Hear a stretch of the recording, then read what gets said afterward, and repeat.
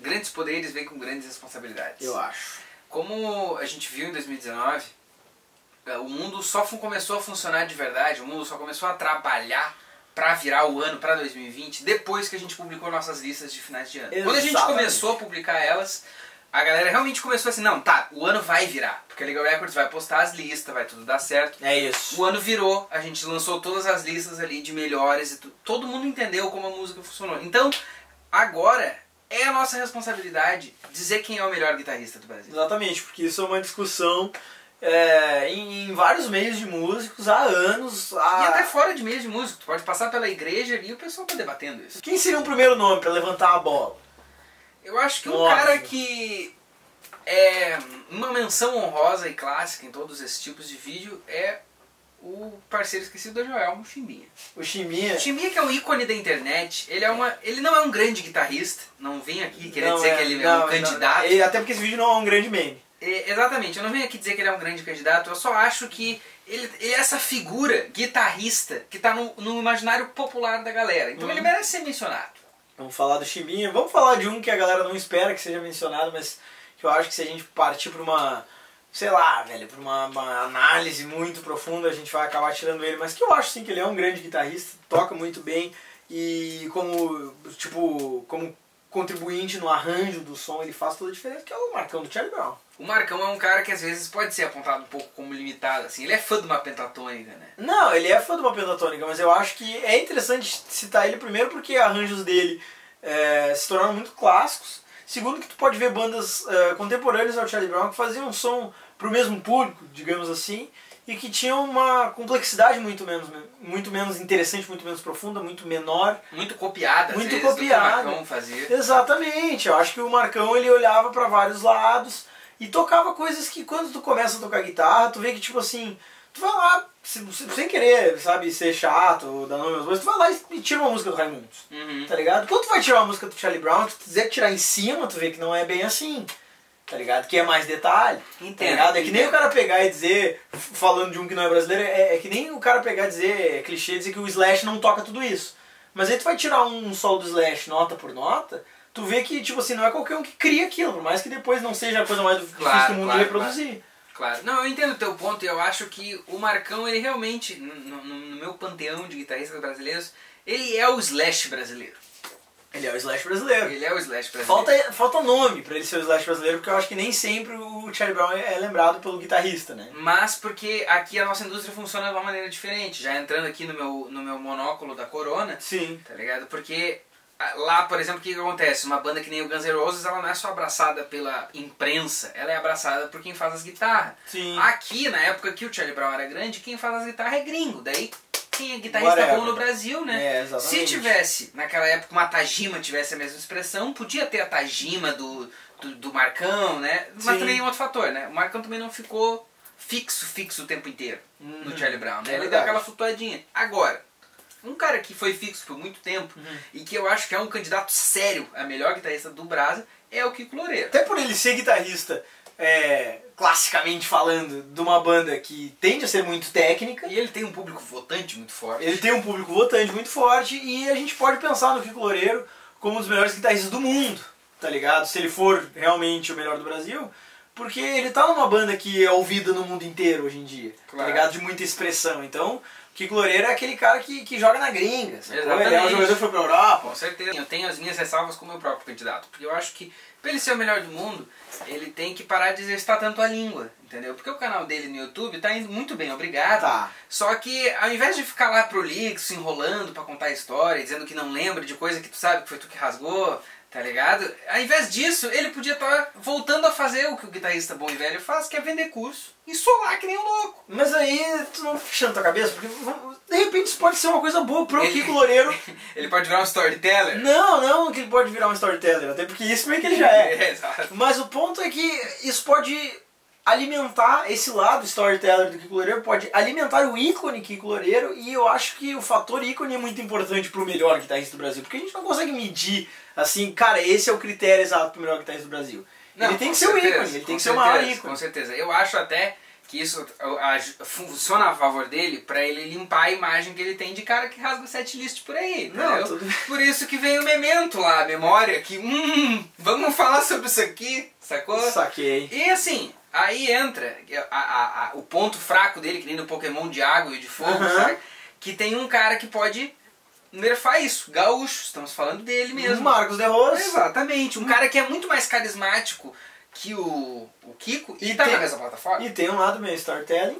E toca guitarra muito bem. E tem uma vibe música clássica. Então eles, comparado, quem é mais influente pro guitarrista brasileiro hoje, tá ligado? Será que É ainda é, uma o Kiko? pergunta, é Porque agora o pergunta. Kiko ele não, não, não, não toca mais pro público que... O que... público votante. É, pro público votante ali, aquela, aquela galera fãzona de metal nacional, Sim, com valoriza certeza. o metal nacional certeza, que tá rolando hoje, Com certeza. tá ligado? certeza. Aquela galera que... Ele tem, por tra- ele tem esses fãs por tradição, mas eles são mais influenciados hoje por outras pessoas. É, mas é quem é que tá de fato ensinando essa galera a tocar guitarra? Será que ainda é o Kiko ou será que agora é o The Não, Rose? o G. Rocha foi um dos principais responsáveis, né? O G. Rocha do NX0. Ele foi um dos principais responsáveis por ensinar uma galera a Não, tocar guitarra. eu, eu acredito que um, um guitarrista do, do, do- de uma banda como foi o NX0 pra essa, é, pra essa geração não pode também não ser citado, tipo, pelo menos como menção honrosa, porque nesse lance ícone, tá ligado? Já que a gente cogita um The Rose, eu acho que um G. Rocha foi muito mais ícone do que um Que The Rose. Mas assim, se nós vamos fazer menções honrosas mesmo, eu acho que na geração G. Rocha da guitarra brasileira, que a gente vai definir largamente como o início do emo barra o que virou o rock hoje, que Aham. é essa coisa que ninguém sabe, É, ah, tem um chimbinha nessa geração, que é o Vavo. O Vavo, O Vavo da Fresno. Fresno é o chimbinha do emo. Exatamente, exatamente. Porque tu olha a, a, a Fresno, tipo, na foto, Exato. e tu pensa, beleza, o Lucas é o vocalista e guitarrista base, e Vavo é o guitarrista solo. Mas aí tu vê e Vavo não é o guitarrista solo, Vavo é o outro guitarrista, que segura a onda, enquanto o Lucas se desdobra entre fazer os vocais e fazer as guitarras mais detalhadas. E Também Vavo paga as contas. e, é, e o Vavo está ali para segurar, mas o Vavo é importante. Porque o Vavo é está ali para segurar uma onda, para fazer uma base na qual o Lucas não consiga cantar em cima, tá ligado? Pra, sabe, para contribuir pro arranjo e a gente leva também em consideração, como a gente falou que Marcão de repente não foi além por sua inconsistência na banda, Vavo, na história da Fresno, parece ser o grande membro que remains. O consistente. O consistente, o que, o que eh, joga pro time. Claro, com Tá certeza, ligado? com certeza. Nisso tu tem um ponto.